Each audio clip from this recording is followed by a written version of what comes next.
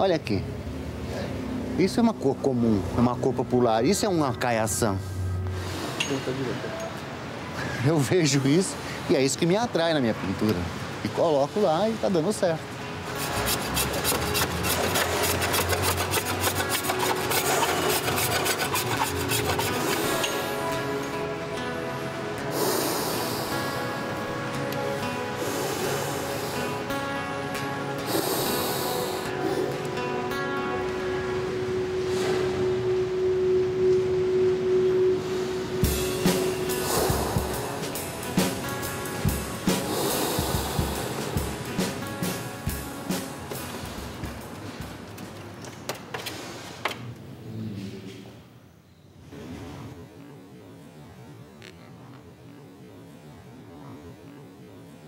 O amarelo tomou conta? Por causa do Fajardo. Teve na minha oficina um dia e viu uns trabalhos que estavam lá, todos amarelos, muito amarelo. E ele me contou uma história sobre o amarelo que o Eduardo Suede tinha contado para ele. Então, Suede estava em casa, tranquilão, batem na porta. Ele vai atender, era um amarelo. Quando ele abriu, foi falar bom dia, o amarelo tchuf, entrou. Ele fechou a porta, olhou, o amarelo estava sentado no sofá. Enquanto ele foi caminhar, o amarelo pegou o uísque e começou a beber. Então ele falou: Cuidado, o amarelo toma conta. Por isso, eu botei o nome desse trabalho de Amarelo Tomou Conta.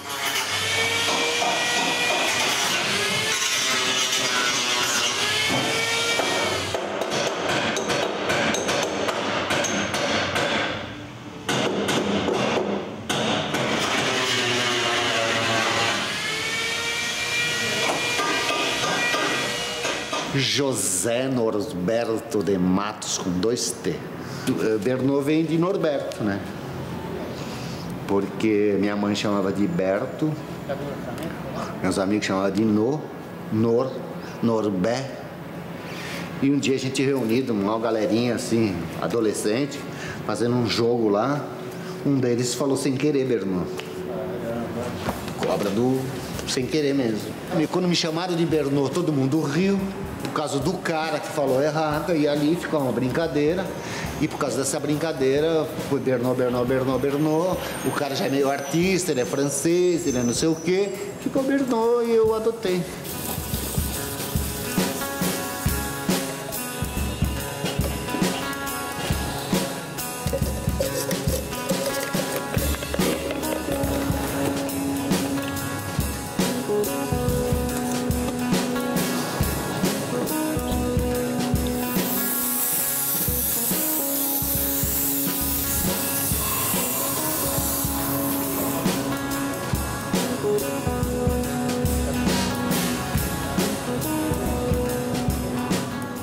Partir do momento que o Rodrigo Naves esteve aqui nessa oficina para fazer uma porrada na traseira do carro dele, mudou tudo. Enquanto o Sidney fazia o orçamento do carro dele, ele entrou, viu tudo que eu tinha aqui e falou: Meu, você é bom pra caralho. Ficou bem legal isso. Bem legal a matéria da pintura.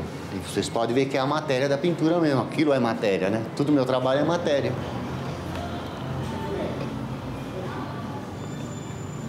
É sem título. Mas ela tem elementos da pintura automotiva, né? Enquanto a tinta óleo e a cera de abelha me deixam uma opacidade, a tinta automotiva por cima dessa tinta óleo e cera de abelha me dá um frescor, me dá uma iluminação, me dá algo prazeroso mesmo. E é isso que ela me, me transmite. Além da matéria, evidente, né? Que tem o trabalho, né? Porque sem a minha matéria eu também não consigo. Então é uma coisa totalmente diferente do automóvel. Eu removo a tinta desses carros. Né?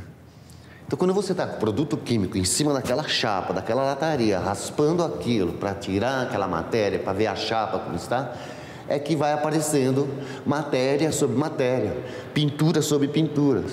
Então, até raspar totalmente, dá uma forma, um material, uma, uma textura assim, como se tivesse muita matéria. E normalmente tem, então a gente retira toda aquela matéria para começar a dar chapa novamente. E eu faço o contrário, né?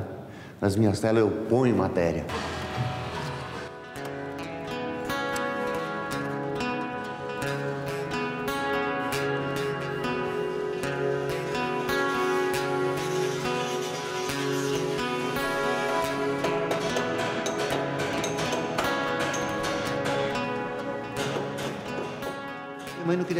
Na rua, ela trabalhava. Meu pai era cabeleireiro, mas era um dançarino.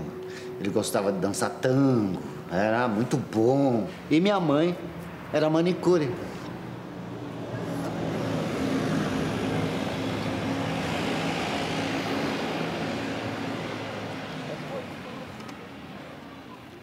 Minha infância e adolescência foi aqui nesse bairro, nesse vale. Ali. Cresci ali nos campos de futebol, é, eu fui fazer mecânica de automóvel, mas dentro da mecânica do automóvel começou a me despertar essas pinturas. Eu só ficava nas sessões de pintura, enfim.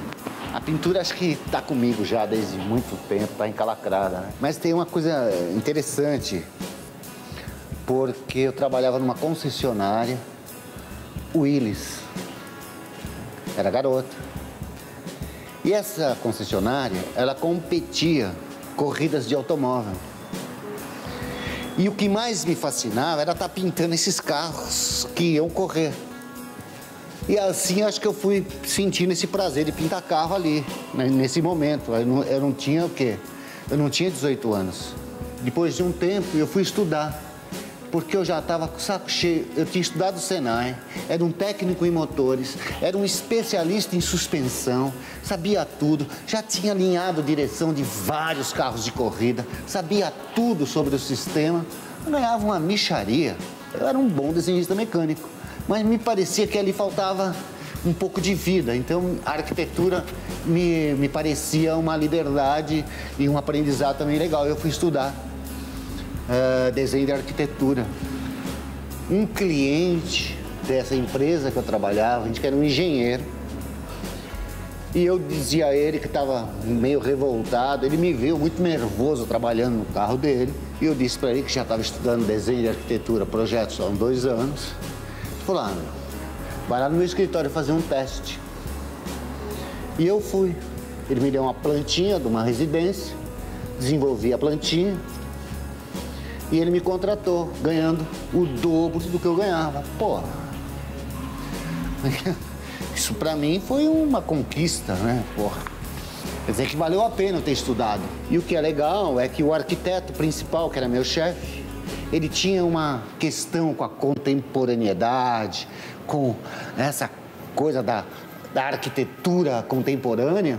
E isso foi me despertando o que, que era contemporâneo, né? Isso nos anos 70. E isso foi que foi minha busca. Nos muros, nas pinturas das paredes, nos portões, já tem ali elementos da minha pintura. Olha essa caixinha do correio. Isso é uma composição, né? Isso é um quadro, né? Ó. Isso é um quadro, né? Ó. Quer dizer, quem consegue ver isso? Ninguém, né? Só quem tá com o olhar apurado. Né? Eu não pinto isso, eu não retrato essas casas nem nada, mas eu extraio delas elementos formais e cromáticos. O meu trabalho é simples. Olha aquele portão. Olha lá. Tinta pintada e, o, e a parte enferrujada. Está descascado. Está aqui. Não precisa ir muito longe, entendeu? Tem a parte branca, tem a parte descascada. Então, o descascado, o ferrugem é a memória do portão. Aqui tem cor, aqui tem matéria, olha. Olha aqui, aqui está desbotado, ele está queimado, mas você vê, se isso fosse repintado, é claro que ele estaria mostrando também elementos da pintura que eu, que eu faço.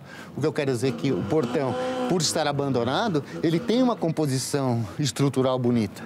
Os muros, olha, Tá vendo? Meu, eh, tem uma memória lá do tijolo, da composição do tijolo que tá lá embaixo. Tem essa parte de fora, tem a parte branca, tem a parte azul, tem a tinta. Então você vê que tem uma memória forte.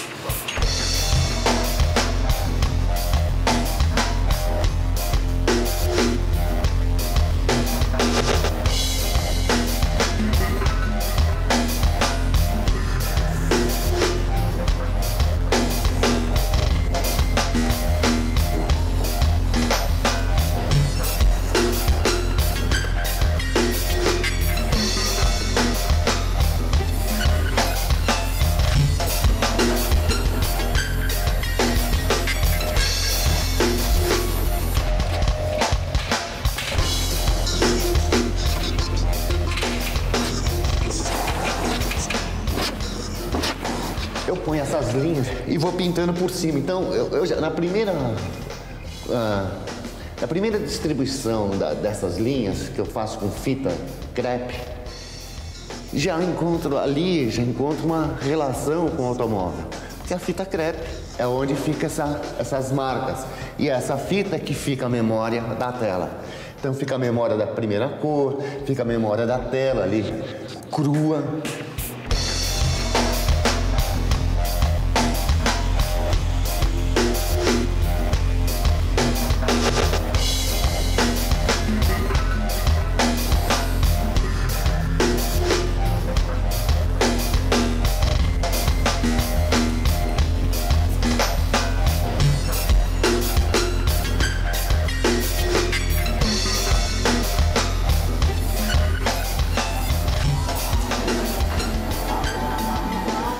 não está pronto. Ainda estou no processo. Não, aí começam as minhas questões, entendeu? O que que tá bom, o que que não tá. E quando eu achar que tá pronto, já não é mais meu. Aí o tempo foi passando, eu comecei a perceber que tinha um segmento de pinturas de moto e tudo mais, de automóvel e tudo mais, nos anos, no final dos anos 70, começo dos 80, que eu montei a minha primeira oficina. Então, nessa primeira oficina, eu peguei todo o meu dinheiro, montei oficina junto com o irmão, esse que faleceu, e ali eu comecei a minha vida de pintor. Então eu pintava moto, eu pintava tudo. Porque eu acreditava que isso ia me dar condição de sustentar minha família e de estudar. Primeiro vestibular que eu fiz, eu passei em oitavo lugar na Faculdade de Belas Artes, mas o fato da minha mulher estar grávida e nós já estarmos em conflito de relacionamento, eu fui passando, eu cancelei e esperei. Quando teve o, o novo vestibular, eu fui e fiz um novo vestibular na Faculdade de Belas Artes, passei em vigésimo. Falei, bom, agora é o seguinte, a mulher pode me abandonar, os filhos podem ficar embora, pode ser os cambal. Eu não saio da escola. Minha mulher me abandonou no segundo ano da faculdade. E aí foi punk. Foi aí que eu me envolvi com drogas pesadas, me envolvi com um monte de coisa, andava armado, a vida não tem mais sentido para mim. Andava armado não porque eu era malandro, porque era ou coisa assim. Andava armado porque eu tava aí para qualquer parada. A vida não tinha mais sentido. Porque eu não casei para separar, casei para ter uma família. Eu fiquei com, com a febre do rato dizem aí. Entendeu? Porque a vida vai te levando a. Você fala, pô, eu tenho que viver, tenho que sobreviver. Mas eu superei. Saí por cima, fui, me formei, saí de lá premiado, com um monte de amigos. Minha filha cresceu, tá linda e ninguém sentiu minha falta. Dessa distância é cor. É cor, né? Que você veja a composição. São é, muitas cores. Olha aquele sobrado rosinha. Pô, esse rosinha tá na minha tela lá na galeria. Tem uma igrejinha logo ali, que tem um cinzento também branco. Pô, meu, é uma cor linda, sabe? E são as coisas que eu vou buscando. Olha lá o violeta ali em cima. Junto com o mostarda. E é daqui que eu vou tirando meus elementos da pintura.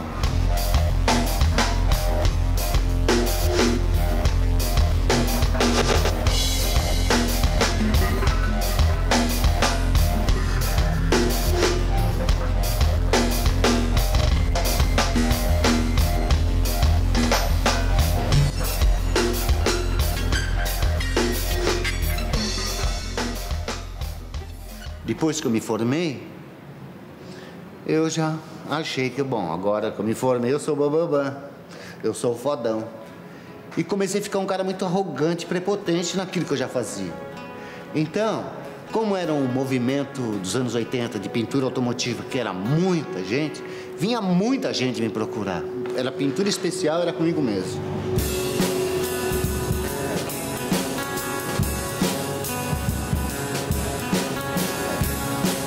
Acho que eu sempre soube lidar com as cores, porque mesmo essas pinturas dos anos 70, dos, é, final dos anos 70, começo dos 80, tudo, são pinturas bonitas até.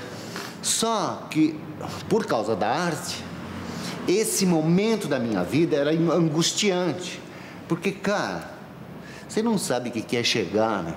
Um indivíduo que mal sabe falar, que mal sabe se vestir, encostar uma picape na porta da oficina, no pescoço dele, um milhão de dólares de correntinha no pulso, dinheiro que não acaba mais, com as calças arregaçadas, a camisa aberta, fedendo e querendo fazer uma personalização. Ah, bicho, esses caras sofriam comigo, né? Porque eu não tava ligando pro dinheiro deles. Você viu? Hoje aqui, sete, dez da noite, sete, quinze da noite, encosta um cara para fazer orçamento. Não me interessa nem saber quem é ele, com a Honda dele, de última geração. Aliás, o que, que tinha para fazer naquela Honda, hein? Para-choque. Quer dizer que um cara desse, que tem um veículo... Olha só, cara, se liga. O cara tem um Honda, que ano é, nem? 2007 o Honda do cara, encosta aqui 7h20 da noite, porque ele vê aberto, para fazer orçamento para pinturinha do para-choquinho dele. Ah, porra, bicho, é um saco. Eu não tenho paciência para atender um cara desse com todo o dinheiro que ele tem. E não é isso que me interessa.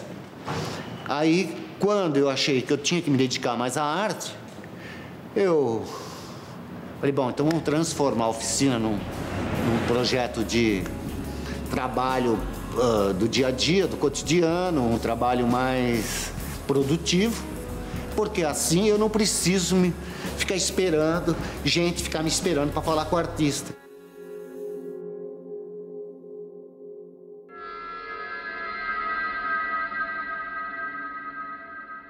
sempre fui muito habilidoso.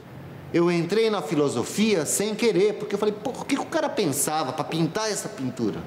Para fazer essa pintura? Claro, ele pensava estética, ele tinha um pensamento que levava a ele, era o conhecimento. E era isso que eu precisava saber. E fui estudar com Paulo Pasta. E fiquei três anos com Paulo Pasta. E o Paulo foi a grande figura da minha vida. De vez em quando ainda conversa, porra, Paulo, eu tô com uns problemas assim. Como eu tive um problema recentemente, bem engraçado isso. Eu liguei para ele e falei, Paulo, porra, eu tô desesperado. Minhas telas estão rachando tudo, cara. Eu não sei o que eu faço. Eu já mudei as ceras, eu já mudei as tintas, eu já fiz tudo, Paulo. Eu não sei o que, que faço. Ele falou, ô Zé, Olha, precisa ver bem essa cera, se ela não é batizada com parafina, cara. Porque isso com a parafina racha tudo. Eu falei, não sei, Paulo, já mudei cera, já mudei tudo, já fiz tudo, não sei o que eu faço. Ele falou assim, ô oh, Zé, é difícil essa hora, né? Parece que a gente tá sozinho no mundo.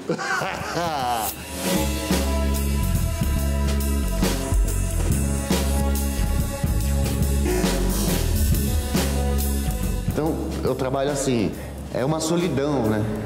Sou eu e a tela, os pincéis e a tinta e eu preciso resolver. Então, nesse embate da, de solucionar a, a, o trabalho, solucionar a pintura, é difícil você estar numa oficina funileira com lixadeira, dando porrada e tal, e telefone, atende todo mundo, e eu pintando. Sabe? E tem, quando tem que solucionar alguma coisa, ponho o fone de ouvido, ponho a máscara, ponho tudo e fico lá trabalhando.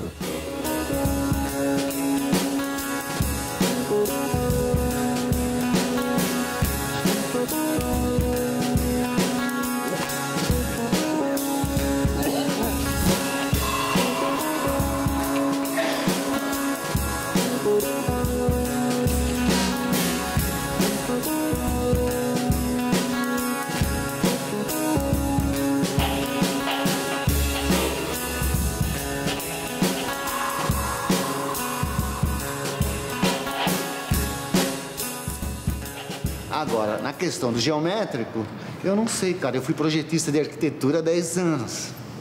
Tudo aqui é muita cor, cara. É, sou eu, né? Essa oficina sou eu. É tão bacana, sabe? Quando eu penso que fiz um trabalho de pintura, fiz uma tela e que essa tela vai, vou colocá-la no mundo e que ela vai tornar o mundo mais bonito.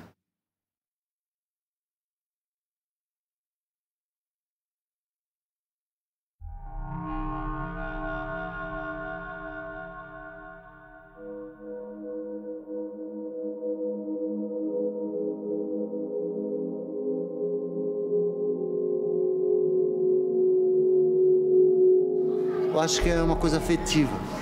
Eu preciso dessa afetividade com a chapa porque foi dos automóveis que me pagaram a minha faculdade, os automóveis que pagaram a escola dos meus filhos, os automóveis que me ajudaram a viver e os automóveis me ajudam aqui até hoje, cara. Por isso que nós estamos aqui.